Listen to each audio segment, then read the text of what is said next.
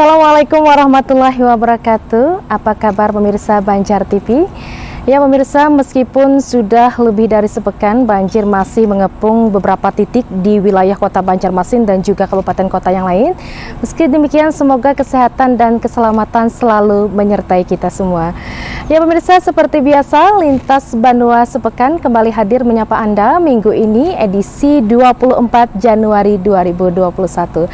Kami telah menyiapkan sejumlah informasi pilihan dan ragam peristiwa yang terjadi satu minggu belakang ini untuk menemani Anda selama 60 menit ke depan.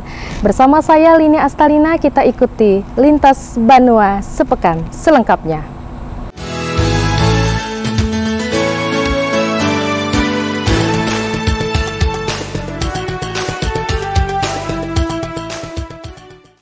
Pemirsa mengawali lintas Banua sepekan, analisa sementara Pemprov Kalsel, penyebab banjir yang melanda 10 kabupaten kota di daerah ini disebabkan oleh intensitas hujan yang tinggi di daerah aliran Sungai Barito sebanyak 8 sampai 9 kali lipat dari biasanya sehingga tak mampu menampung limpahan air di daerah aliran sungai.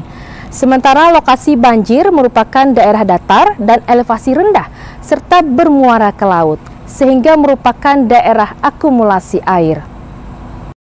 Dalam keterangannya di Banjarbaru, pelaksana tugas Sekda Prop Kalsol Roy Rijali Anwar didampingi Kepala Bapeda Nurul Fajar Desira, Kadis Lingkungan Hidup Hanifah Dwi Nirwana, Kadis PMTSP Navarin, Kadis ESDM Kelik Isharanto, Kadis Bunak Suparmi, serta pelaksana tugas Kadis Kehutanan Fatimatu Jahra menyampaikan analisa sementara Pemprov Kalsol terkait faktor utama penyebab banjir besar yang melanda sejumlah wilayah di daerah ini. Roy Rijali Anwar menjelaskan anomali cuaca dan curah hujan tinggi dalam seminggu terakhir menyebabkan daerah aliran sungai Barito melebihi kapasitas dari normalnya yakni 238 juta kubik menjadi 2,08 miliar kubik. Sistem drainase yang ada tak mampu mengalirkan air dengan volume sebesar itu Sementara lokasi banjir merupakan daerah datar dan elevasi rendah serta bermuara ke laut sehingga merupakan daerah akumulasi air. Adapun kawasan terparah meliputi Kabupaten Banjar, Tanah Laut, dan Hulu Sungai Tengah. Kemudian data rinci di Kabupaten Tanah Laut, debit sungai 645,56 meter kubik per detik, padahal kapasitas hanya 410,73 meter kubik per detik.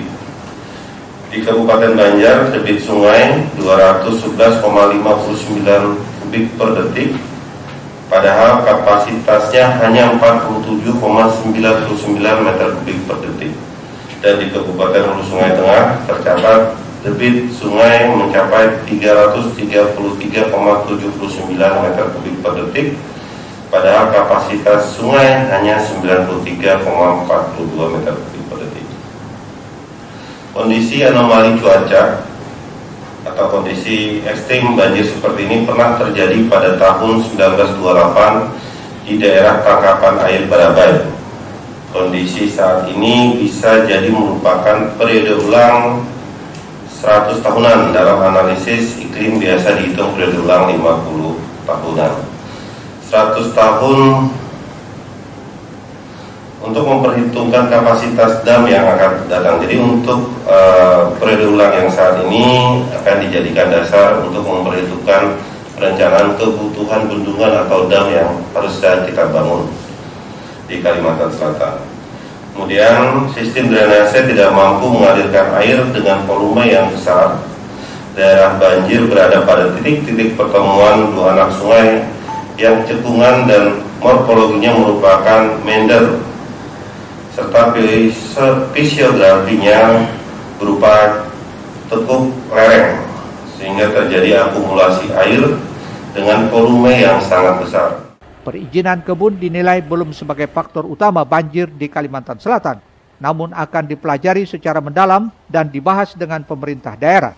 Sementara izin tambang seluas 37.000 hektar dari area izin 55.000 hektar sejak tahun 2008 dan analisa seluruh tambang termasuk oleh masyarakat seluas 104.000 hektar terpantau pula 168 eks lubang bekas tambang di lokasi Das Barito. Ahmad Ramadhani, Banjar TV. Selanjutnya pemirsa Gubernur Kalimantan Selatan Sahbiri Nur bersama unsur Porkopimda Kalsel melakukan pemantauan udara sekaligus menyerahkan bantuan untuk penanganan banjir di Kabupaten Hulu Sungai Tengah. Sementara itu, bantuan untuk Kalsel dalam tanggap darurat bencana musibah banjir terus mengalir. Sebuah perusahaan swasta dunia penerbangan mengirimkan satu unit helikopter untuk bisa dipergunakan dalam proses pengiriman bantuan dan evakuasi. Di samping itu, penanganan pasca banjir di Kalsel telah tersimulasi dengan baik. Dengan datangnya bantuan pusat, serta elemen masyarakat daerah, relawan, dan logistik dari provinsi tetangga. Helikopter milik BNPB dan Basarnas yang membawa Gubernur Kalsel tiba kembali di Bandara Syamsiddin Nur Banjarbaru. Usai melaksanakan pemantauan kondisi banjir di berbagai wilayah di Kalsel, termasuk di kota Berabai Hulu Sungai Tengah. Turut serta dalam pemantauan tersebut dan Rem 101 Antasari, Brigjen TNI Firmansah, Ketua DPRD Kalsel Supian HK, Basarnas, serta perwakilan BNPB. Tempat acara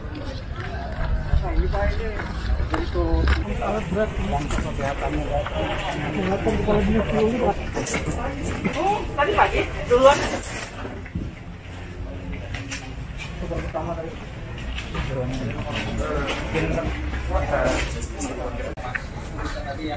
Gubernur Kalsel Sabirinur menyatakan meski masih ada titik banjir di beberapa tempat, ketinggian air sudah mulai menurun. Pihaknya sudah melakukan koordinasi dengan Pemkap Hulu Sungai Tengah agar proses distribusi bantuan dapat berjalan dengan lancar. Di sana air sudah mulai bisa uh, apa istilahnya surut lah. Dan alhamdulillah di sana sudah mulai gotong royong membersihkan sampah dan memang banyak yang terdampak banjir dan pasca banjir ini yang harus kita tangani bersama ya dan daerah-daerah lain yang masih ada tergenang air nah ini juga yang harus menjadi perhatian kita sampai nanti kita berharap banjir ini bisa uh, selesai tuntas lah. Yang jelas hari ini kita harus bersama-sama gotong royong bahu membahu di dalam kita menghadapi atau menanggulangi uh, bencana atau musibah banjir yang kita hadapi hari ini. Sementara itu Danrem 101 Antasari Brigjen TNI Firmansa memastikan kondisi di Berabai dan sekitarnya mulai berangsur normal meskipun sebagian titik masih tergenang air namun perekonomian masyarakat sudah mulai membaik. Representasi dari pemerintah, representasi dari negara dan yang kita lihat kondisi Barabai perekonomian sudah normal. Kami bisa katakan sudah normal kembali karena kami tanyakan langsung baik kepada Pak Bupati, kepada Kapolres, kepada Pak Dandim maupun Danjon yang ada di sana bahwa toko-toko masyarakat sudah mulai buka, berarti kebutuhan masyarakat sudah bisa terpenuhi mereka sendiri dan insya Allah uh, ini merupakan bentuk bahwa uh, banjir di sana sudah uh, bisa ditangani dengan betul, tinggal kita fokus kepada uh, dampak lanjutannya. Selain bantuan logistik, seribu paket sembako turut diserahkan bantuan perahu karet serta dana siap pakai 1 miliar untuk penanganan banjir di Hulu Sungai Tengah. Bantuan tersebut berasal dari pemerintah Republik Indonesia 500 juta rupiah dan Pemprov Kalsel 500 juta rupiah. Ahmad Ramadhani, Banjar TV.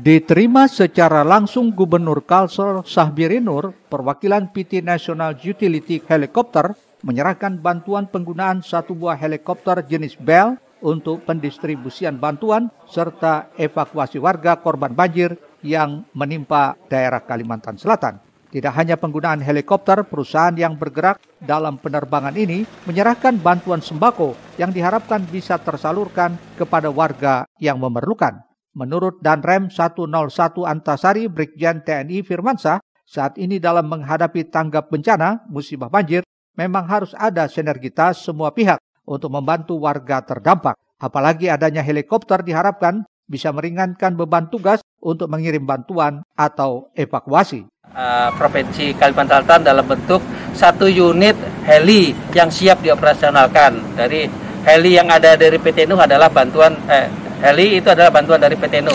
Nah itu sangat membantu kami dalam uh, pengoperasional pengendalian dampak bencana alam ini. Dasari uh, dan Kodam 6 Mula Warman mendapat bantuan dari PT Nu uh, untuk penyaluran uh, bahan sembako yang akan dibagikan kepada uh, masyarakat yang terdampak. Kami sangat ber, apa, berterima kasih kepada siapa pun yang mau uh, menjadi relawan, apakah dalam bentuk tenaga atau bantuan lainnya dalam rangka membantu uh, masyarakat Kalimantan Selatan yang terdampak. Uh, kami mengucapkan puji syukur bahwa kami masih bisa uh, diberikan kesempatan oleh Allah Tuhan Yang Maha bisa datang ke sini dan masih bisa memberikan bantuan kepada saudara-saudara kita yang terkena dampak musibah banjir di Kalsel ini.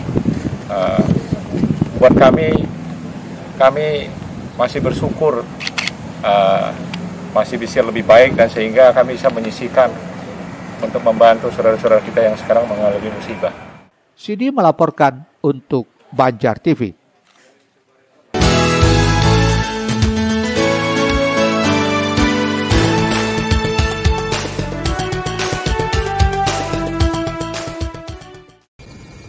Untuk mempercepat penanganan pasca banjir besar yang melanda wilayah Kalsel, pemerintah pusat telah menyalurkan fasilitas dan sarana untuk mencapai daerah yang sulit dijangkau. Berikut pasukan dari TNI Angkatan Laut untuk membantu evakuasi warga. Selain itu, relawan yang berasal dari kabupaten tetangga dan luar provinsi turut hadir dengan semua peralatan. Berikut alat berat untuk membantu pemulihan pasca banjir.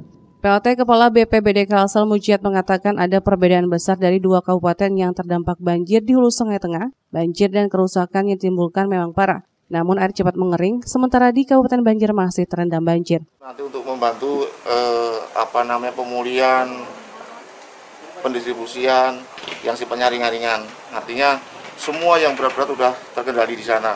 Di sana ternyata cukup cepat sekali karena dari Tabalong, dari Tapin, Rantau, Kandangan tuh bersatu di sana. Sehingga walaupun kita kemarin tidak bisa mencapai di sana, tapi ternyata sana sangat cepat sekali dan hari ini kelihatan sudah tinggal satu titik itu syukur alhamdulillah. Tapi HIT ini memang parah, tapi cepat terselesaikan. Nah itu perbedaannya. Kalau di Kabupaten Banjar ini airnya lama, kalau di sana cepat terbuang. Jadi walaupun parah, sekarang udah kering, tinggal satu titik antakan itu. Jadi perbedaannya mungkin karena uh, alur ya alur pembuangannya sangat cepat sini kan numpuk banyak dari hulu ke hilir betul betul. Uh, tadi saya baru saja mendapat instruksi gubernur artinya nanti ada prioritas khusus baik mengenai pem, uh, penanganan bantuan ataupun penanganan pemulihan emosional masyarakat yang sekarang terdampak ini.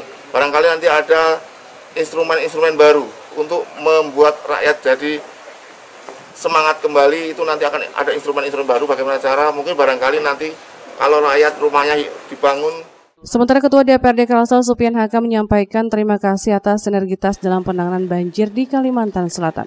Maupun masyarakat lebih khusus kepada daerah tetangga. Tadi Pak Danrim, uh, Pak Pemimda ikut makan di posko penampungan adalah punya begitu utara. Beliau datang bersama uh, apa sembilan pokok beliau bawa sekaligus alat dapur hampir semua kabupaten tetangga kita yang membantu di sana. Jadi berlimpah ruah bantuan kita tinggal penyaluran.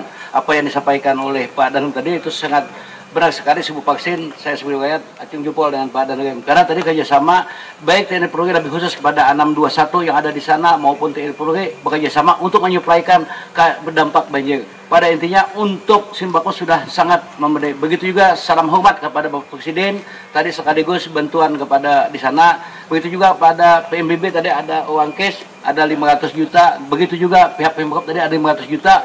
Ini Rencananya BNPB akan menggelontorkan dana 50 juta per rumah per kakak bagi rumah yang rusak berat, rusak sedang 25 juta dan rusak ringan 10 juta rupiah. Ini sebagai bentuk kepedulian pemerintah pusat terhadap warga terdampak banjir. Ahmad Ramadhani, Banjar TV.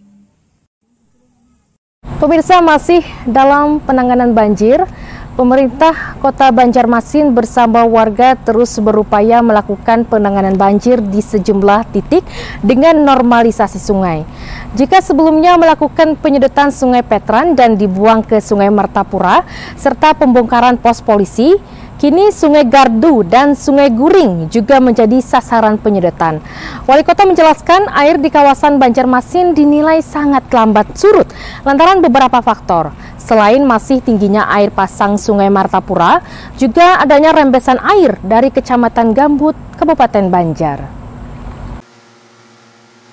Pemerintah Kota Banjarmasin bersama warga terus berupaya melakukan penanganan banjir di sejumlah titik dengan normalisasi sungai.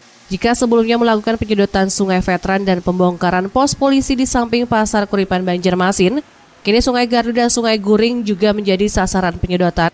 Bahkan untuk di Sungai Gardu, Pemko Banjarmasin menurunkan mesin pompa dengan daya lebih besar. Menurut Wali Kota Ibnu Sina saat berada di lokasi mengatakan upaya ini kembali dilakukan lantaran upaya sebelumnya belum berjalan maksimal. Untuk itu coba kembali menurunkan mesin pompa yang lebih besar untuk menyedot air yang ada di kawasan Sungai Gardu, sehingga harapannya kawasan Gatot Subroto dan kawasan terminal dan sekitarnya air bisa segera surut. Wali Kota menjelaskan air di kawasan Banjarmasin. Hari ini kita turunkan lagi pompa yang lebih besar. Ini diameter 8 in keluarnya 8 in. Kemudian e, besok juga kita akan install lagi yang 10 in di ini yang di Sungai Gardu kemudian satu lagi nanti yang di kilometer 4 masuk ke Sungai Guring. Nah mudah-mudahan ini bisa kesedot di kawasan Gatot, Subroto, Sungai Lulut, Banjarmasin Timur sampai ke terminal itu itu bisa kesedot dari sini mudah-mudahan juga yang dari sisi Banjar Selatannya dengan bantuan e, beberapa titik di Sungai Guring, kemudian Antasan Segera dan juga di Pekapuran, ini juga bisa menyedot air lebih banyak untuk keluar dari e, genangan yang sudah e, seminggu lebih ini. E, mohon doanya saja e, dengan dibantu oleh pemadam-pemadam mesin-mesin pemadam kecil, ini juga mudah bisa maksimal dan uh, yang penting hari ini adalah kita saling bantu untuk korban yang memerlukan uh, penanganan segera tanggap darurat. Wali Kota menjelaskan air di kawasan Banjarmasin dinilai sangat lambat surut lantaran beberapa faktor selain masih tingginya air pasang Sungai Martapura, juga ada perembesan air dari Kecamatan Gambut, Kabupaten Banjar. Muhail Banjar TV. Pemirsa kita ke informasi selanjutnya. Pertamina bersama Himpunan Wira Swasta Nasional Minyak dan Gas Bumi atau Hiswana Migas menggratiskan isi gas tabung 12 kilo untuk dapur umum banjir yang terjadi di Kalimantan Selatan.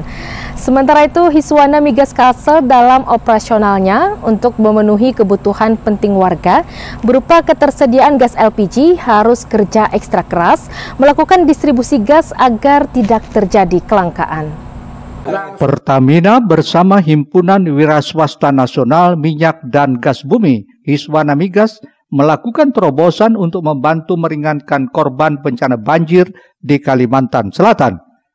Wujudnya yakni memberikan gratis isi tabung gas kepada setiap dapur umum yang berada di daerah ini, utamanya di kawasan yang terdampak banjir, semisal di Banjarmasin, Banjarbaru, Martapura, dan sekitarnya dengan persyaratan menuliskan alamat dapur umum, menunjukkan lokasinya, nama penanggung jawab, dan kontaknya. Hal tersebut digratiskan 2-3 gabung gas isinya saja. Hal tersebut seperti disampaikan Ketua Hiswana Migas Kalsel, Hasaibani dalam jumpa persnya di Banjarmasin. Untuk dapur-dapur umum ya, untuk dapur-dapur umum untuk melayani masyarakat yang terdampak, Eh, bersama uh, itu akan dibantu Pertamina bersama Iswana Migas. Tentu pelaksana di lapangannya adalah Iswana Migas. Hmm. Itu dibantu secara gratis isinya oh. untuk tabung LPG 12 kg. Jadi dua tiga tabung, tapi tentu ada persyaratannya. Hmm. Satu itu menjadi apa, menyan, apa nama, menulis alamatnya dengan jelas, hmm. dengan Sherlocknya. Hmm ditambah dengan penanggung jawabnya siapa dan kemudian nomor kontaknya siapa. Dan terakhir memotokan nanti uh, terkait kegiatan dapur umumnya. Nah nanti itu akan dapat gratis isi tabung 12 kg 2 sampai 3 tabung. 2 sampai 3 tabung. 2 sampai 3 tabung. dapur. Per dapur lebih lanjut, Saibani menambahkan, Hiswana Migas meminta kepada agen LPG 12 kg berkewajiban membantu secara gratis isi gas untuk dapur umum ini. Tujuannya tidak lain untuk sama-sama membantu meringankan dan memperlancar bantuan kepada warga terdampak banjir. Rijali Apandi, Banjar TV.